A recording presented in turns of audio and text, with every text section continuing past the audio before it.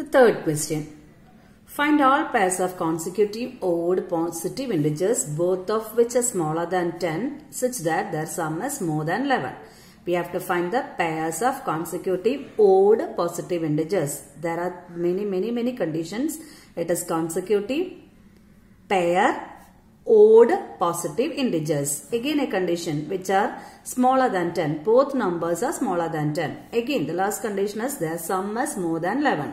So I am going to take, so pair means there must be two numbers, isn't it? So I am going to take the first number as x. Usually we will denote by x. Then can you say which is the next number? Pair means two numbers are there. So I'm, I wrote the first one, I will be writing the second one. So pair is okay. Consecutive means nearby. Okay, that also will be satisfied after writing the second one odd positive integers. There you have to be careful. Suppose that I am taking 7 as a 7 as an odd positive integer, isn't it? Which is the next odd positive integer consecutive to 7? It is 9. The next consecutive integer is actually 8.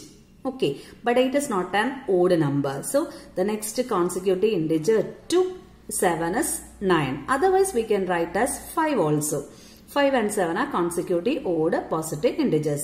Okay, so either it is 5 or 7, otherwise it is 7 and 9. 7 and 8 are consecutive numbers, but 8 is not a positive odd integer. So condition is there odd. So if I take x as one of the odd positive integer, the next integer must be x plus 2. Why? Because 7 plus 2 gives you 9. Otherwise we can take x and x minus 2. Since to avoid the negative sign, I am taking the numbers as x and x plus 2. Again, so this much condition is satisfied. We took a pairs, consecutive, odd, positive integers. Okay. Again, next condition, both of which are smaller than 10. That means x is less than 10 and x plus 2 is less than 10. x plus 2 less than 10 means x is less than 10 minus 2, 8. Okay. So, we have the condition x less than 10 and x less than 8. Together, it implies x less than 8. Okay. Again one more condition is there such that their sum is more than 11. Which sum? The sum of these two integers. So what we have to take x plus x plus 2. Sum is greater than 11. More than 11 means it is greater than 11. With this inequality, try out the next condition. So 2x plus 2 greater than 11. That is 2x greater than 11 minus 2 which is 9. x greater than 9 by 2. 9 by 2 the value is 4.5.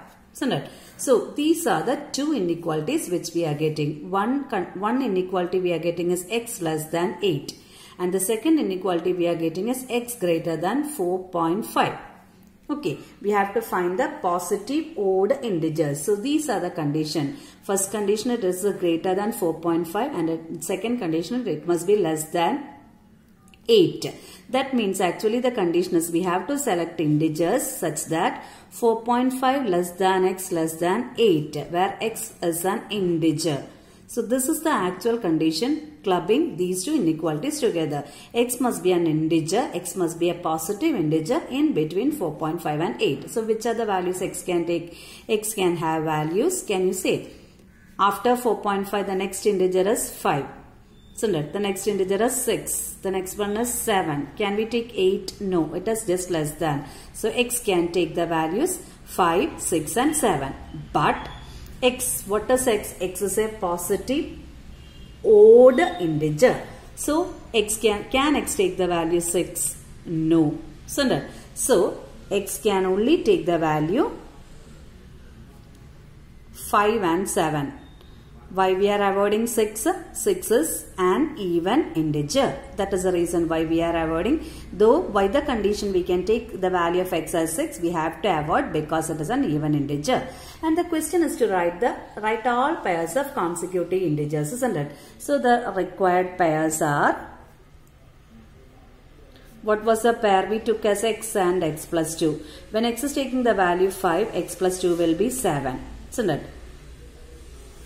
And when x takes the value 7 x plus 2 will be 9 so the required pairs of odd consecutive positive integers in which both are smaller than 10 and the sum is more than 11 there are two pairs one is 5 7 and the second one is 7 9